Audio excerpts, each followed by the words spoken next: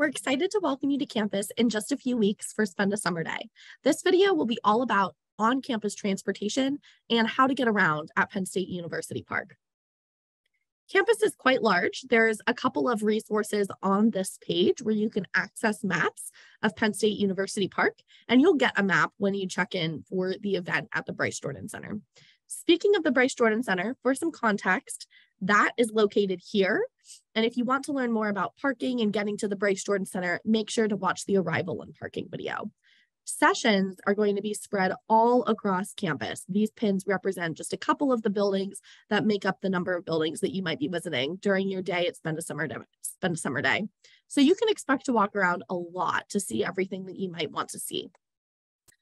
University Park is a primarily walking campus. You'll see some roads there on the map, but you will see people walking around campus as the main form of transportation there are a number of places on campus where through traffic is not possible, especially in central campus.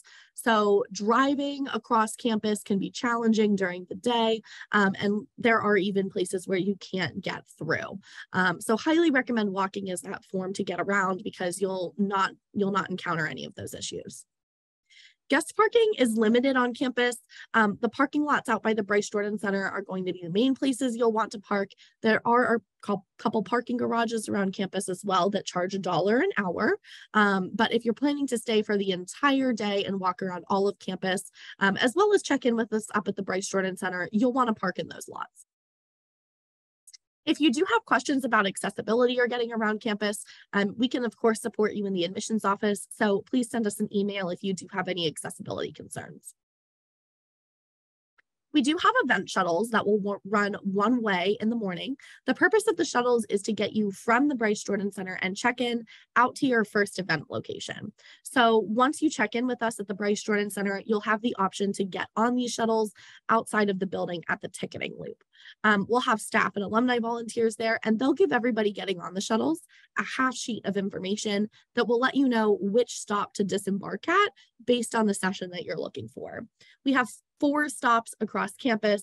Our first stop is probably our most popular stop at the Thomas building. We also stop downtown at the Allen Street gates. We'll stop all the way out on West Campus at Burrowes and Pollock Road at that intersection, and finally at the Visual Arts Building. You don't necessarily need to know where these stops are or where any of these buildings are. You just have to make sure to grab one of those half sheets and look for the session that you're planning to attend and get off at that stop at the bus stops, we will have alumni volunteers and tour guides to make sure you get to the right location. While you're on campus, you will see CATA buses. You can see one in the picture here on the screen. CATA is the Centre Area Transportation Authority, and CATA is our local community um, transportation hub. Penn State partners with CATA to have a couple on-campus free loops and links that circle campus and downtown, and anyone in the community, guest, student, whoever can get on a CATA bus to use them as transportation. Um, during your time here, you may want to utilize the Blue Loop or the Red Link. CATA buses in the summer do operate at a reduced service capacity. During the school year, there are other on-campus and downtown options available to students, but during the summer, you'll only see the Blue Loop and the Red Link. If you're planning on using CATA during your time um, participating in Spend a Summer Day, I highly recommend downloading the My Stop app um, and enabling location services to find CATA when you get here. My Stop app is going to be the best option for live bus locations, and we can help you with that too when you get here if you need support. We do also have spin bikes on campus. So if you have spin bikes in your community, you could definitely use your spin bike app here. Um, and if you want to try it out, you could definitely download the spin bike app and set up your payment method ahead of coming to campus so you could e-bike around while you're here too. And while campus is not drivable, if you're coming to State College uh, through the airport or you want to get around State College without driving during your visit, um, we are an Uber and Lyft community, so you'll have plenty of options for ride sharing during your time here um, in State College and on campus a couple of things to do to really prepare for getting around campus. I recommend downloading a map. Like I said, on this page, there's a couple of links that you can click on for different maps of campus, including one you can download and print and bring with you. You will also get a self-guided tour route map when you arrive on campus. Um, but if you're going to look at different buildings or maybe plan out your day, um, you could always download one ahead of time. Speaking of, I recommend planning your route. Um, if nothing else, plan how you're going to leave the Bryce Jordan Center.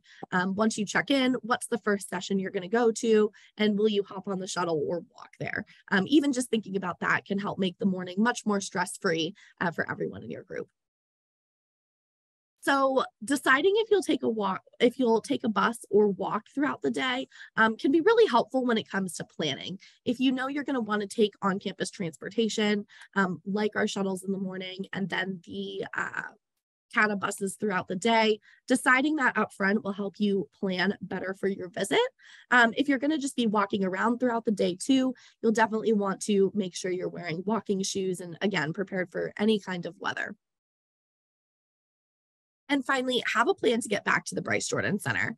Um, it can be a long walk, sometimes up to 20 or 25 minutes from Central or West Campus over back to the Bryce Jordan Center. So be prepared for that. And if you want to make an alternative plan to get back to the Bryce Jordan Center, also think about that before coming to campus. And of course, if you have any questions about transportation or getting around at Penn State University Park, definitely send us an email to our admissions email address, or feel free to ask when you get here for Spend a Summer Day. We will have plenty of staff available at the Bryce Jordan Center and uh, on campus throughout the day to help you with any questions you might have.